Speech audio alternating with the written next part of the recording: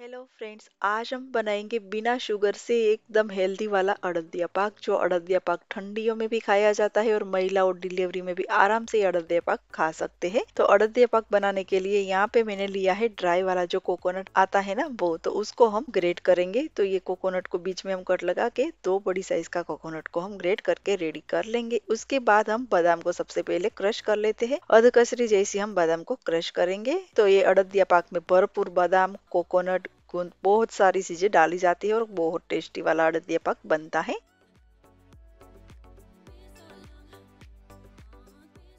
तो यहाँ पे मैंने जितनी बादाम डाली थी ना, उसको मैंने इस तरह से अधकसरी जैसी मैंने क्रश कर लिया है। उसके बाद मैंने दो बड़ी साइज़ का जो ड्राई कोकोनट था ना, उसको मैंने ग्रेट कर लिया है। तो भरपूर हम कोकोनट डाल के अड़दिया पाक बनाएँगे।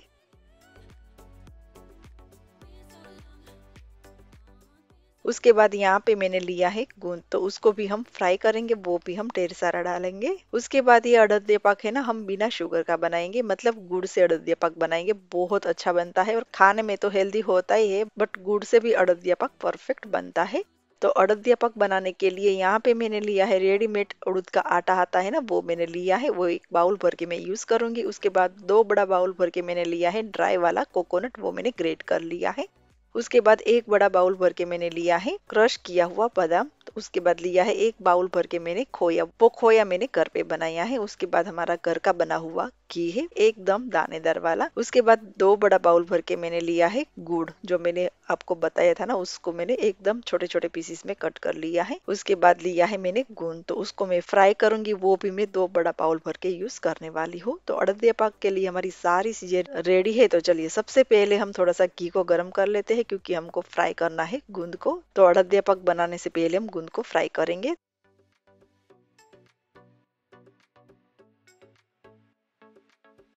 तो दो बड़े चम्मच भर के मैंने घी डाल दिया है। घी गर्म हो जाए उसके बाद डालना है गूंद। गूंद को हम पहले फ्राई करेंगे। तो गुंद, कोकोनट और बादाम, आपको जितना पसंद है उतना आपको लेना है। तो मैं दो बड़ा बाउल भर के फ्राई किया हुआ गूंद में यूज़ करूँगी।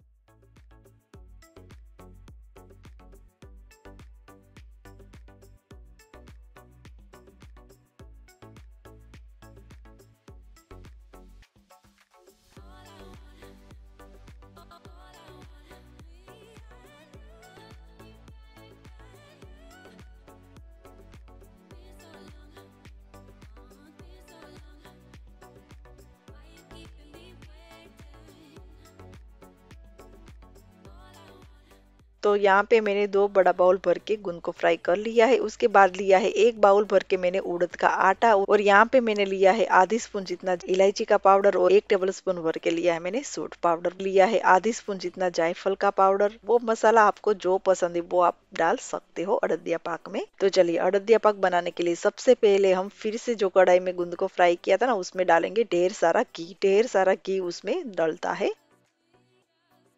तो अराउंड एक बाउल जितना मैंने घी डाला है, घी डाल के हम डालेंगे उसमें उड़द का आटा। आटा को हम अच्छे से घी के साथ सोते करेंगे मतलब गोल्डन ब्राउन होने तक हमें उड़द का आटा को शेकेंगे आटा को मैंने धाबा नहीं दिया है मतलब उसमें जो दूध और घी डाल के धाबा देते हैं ना तो धाबा देने की वैसे ही ज़रूरत नहीं है। डायरेक्टली घी में डाल दो और अच्छे से शेक लो। धाबा देने की ज़रूरत नहीं पड़ती है। तो हल्का सा लाइट गोल्डन ब्राउन आटा होने लगा है, आप देख सकते हो।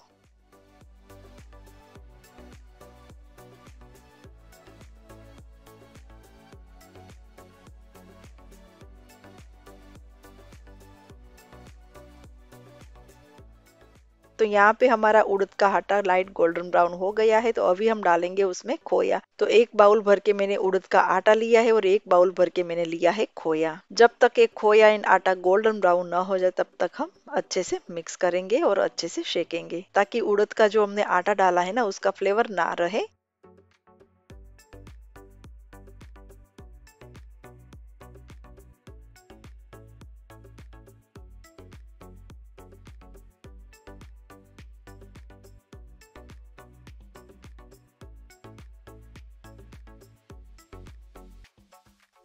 तो मुझे थोड़ा सा घी कम लग रहा है तो फिर से मैं एक चम्मच भर के घी डाल रही हूँ। और ये अड़दिया पक जो बनाना है ना तो भरपूर उसमें घी डाला जाता है, क्योंकि बादाम ड्राई कोकोनट और गूंद डालते हैं ना तो ये घी है ना, वो ले लेते हैं तो ड्राई हो जाता है तो भरपूर घी आपको डालना है।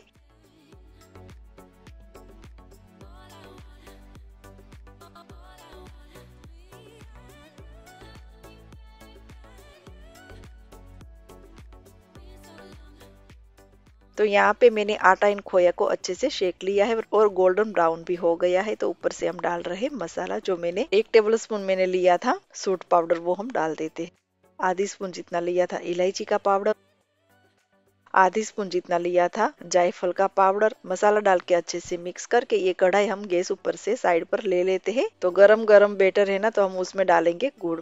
गुड़ हम दो बाउल भर के डालेंगे क्योंकि एक बाउल आटा था, एक बाउल खोया था और एक बाउल बादाम था। उसके सामने मैंने एक बाउल गुड़ डाला है और दो बाउल गुन दो बाउल हमारे पास था। कोकोनट तो उसके सामने मैंने एक बाउल गुड़ डाला है। तो गुड़ मैंने परफेक्ट ही डाला है। आप जितना सामान ले रहे ना, उसके सामने आपको गुड़ लेना है। तो गुड़ डाल के अच्छे से हम बेटर को मिक्स करेंगे ताकि गुड़ हमारा मेल्ट हो जाए।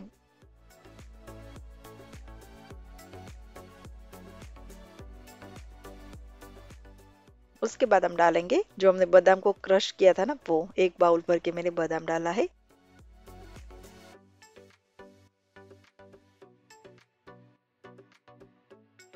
उसके बाद डालेंगे हम ड्राई कोकोनट जो हमने ग्रेट करके रखा था ना, वो मैं थोड़ा थोड़ा करके डालूँगी क्योंकि कढ़ाई भी भर जाएगी हमारे। तो एक बाउल मैंने डाल दिया है। कोकोनट पाउडर डाल के अच्छे से हम मिक्स करेंगे।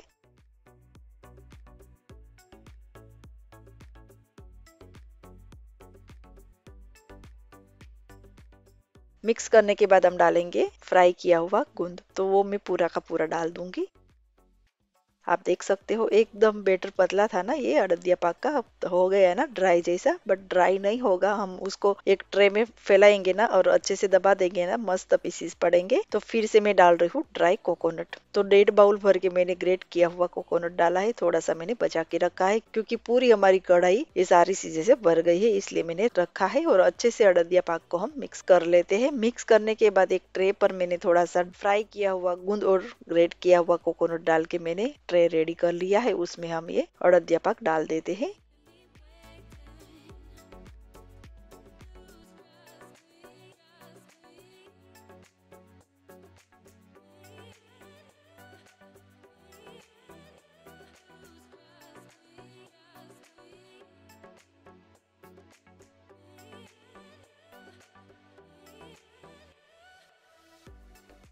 तो पूरी ट्रे हमारी भर गई है, उसको हम अच्छे से दबा देते हैं।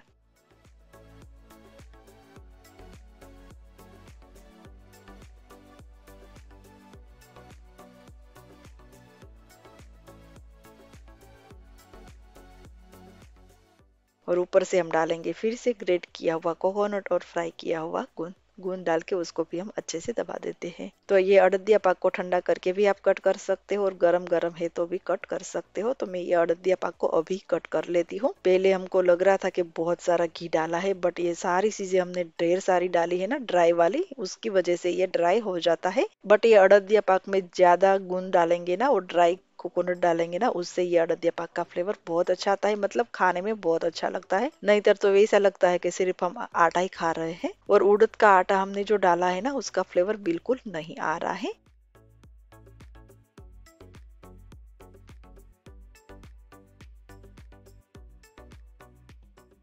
तो यहाँ पे हमने अड़दिया पाक को अच्छे से कट कर लिया है और गरम गरम है ना तो भी मैं आपको दिखाऊँगी कि किस तरह का उसका पीसीस बना है।